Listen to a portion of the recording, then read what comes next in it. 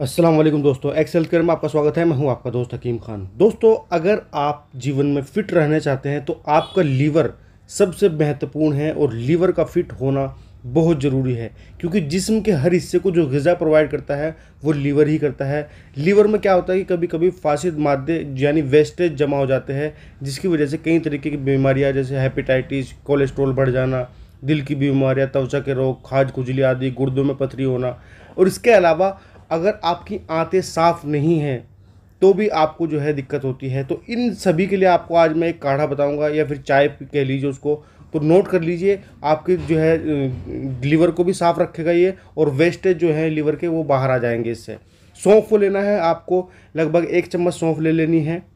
इसके अलावा आधा चम्मच आपको जो है जो है इसकी गुलाब की पत्तियाँ, गुलाब की पंखुड़ी आती है, उसको सुखा लेना है, उसकी पत्तियाँ जो है ले लेनी है आपको। ये दोनों को जो है आपको एक आधा गिलास जो है आप पानी ले लीजिए, उसमें डाल लीजिए। इसके अलावा जो तीसरी चीज़ एक और इसके अंदर डालनी है आपको, वो डालनी है सना मक्की। ये आपके पेट को सना मक्की की पत्ती।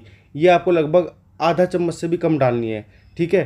तो ये आपके पेट को भी साफ़ करेगी और आप जो है आपकी आंतों की भी सफ़ाई करेगी। इसको आपको पका लेना है। पकाने के बाद जब ये काढ़ा बनकर तैयार हो जाए तो इसको छान लेना है और इसमें एक से दो चम्मच आप शहद स्वाद अनुसार डाल सकते हैं ताकि कड़वा ना लगे, क्योंकि सना मक्की कड़वी होती है तो आपको कड़वी लग सकती है।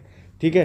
तो इसको आपको वीक में लगभग दो बार पीना है सुबह शाम। एक वीक में एक दिन चुन लीजिए, उसमें सुबह भी पीजिए आप इसको और शाम को भी पीजिए। इससे आपका कब्ज भी खत्म हो जाएगा, आंतों की सफ़ाई भी हो जाएगी और जो लीवर की गंदगी है वो भी सारी आपकी बाहर हो जाएगी और आपका लीवर फ़िल्टर हो जाएगा पूरी तरीके से साफ़ सुथरा हो जाएगा। धन्यवाद दोस्तों इस वीडियो देखने के लिए आपका।